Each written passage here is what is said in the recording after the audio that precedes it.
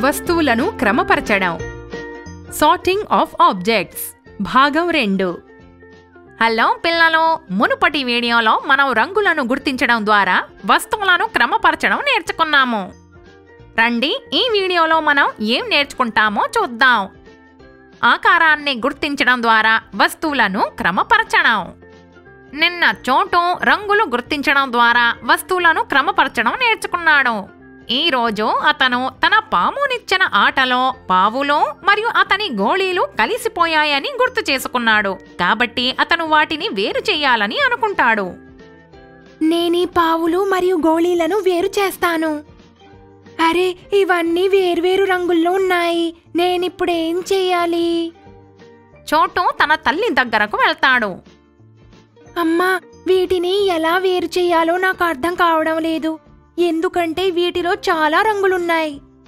చోటు చూడు ఈ గోళీలన్నీ ఒక గుండ్రని బంతి ఆకారంలో ఉన్నాయి. మరియు ఈ పామునిచ్చిన పావులు ఐస్ క్రీం యొక్క కోన్ ఆకారంలో ఉన్నాయి. కానీ అవన్నీ వేర్వేరు రంగుల్లో ఉన్నాయి. చోటు ఇక్కడ పావులు మరియు గోళీలను వేరు చేయడానికి నువ్వు వాటి రంగులను చూడవలసిన అవసరం లేదు. కానీ వాటి ఆకారాన్ని చూడటం ద్వారా వాటిని వేరు చేయాలి. అలాగా అమ్మా నేనిప్పుడే వీటిని వేరు చేస్తాను. ఈ పామునిచ్చిన పావులు శంఖువు ఆకారంలో ఉన్నాయి.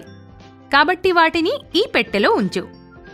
మరియు ఈ గోళీలన్నీ ఒక గుండ్రని బంతి ఆకారంలో ఉన్నాయి. వాటిని ఈ పెట్టెలో ఉంచు. అమ్మా శంఖువు ఆకారంలో ఉన్న ఈ గుర్తులను ఈ పెట్టెలో ఉంచుతాం కదా? పిల్లలు శంఖువు ఆకారంలో ఉన్న ఈ గుర్తును ఈ పెట్టెలో ఉంచాలా వద్దా అని మీరు చెప్పగలరా? అవును ఇదొక శంఖువ ఆకారంలో ఉంది. కాబట్టి మనం దీనిని ఈ పెట్టెలో మాత్రమే ఉంచుతాము. పిల్లలు మీ సమాధానం కూడా ఇదేనా? ఆ తర్వాత చోటు ఒక గుండ్రని బంతి ఆకారం వంటి గోళీలను తీశాడు.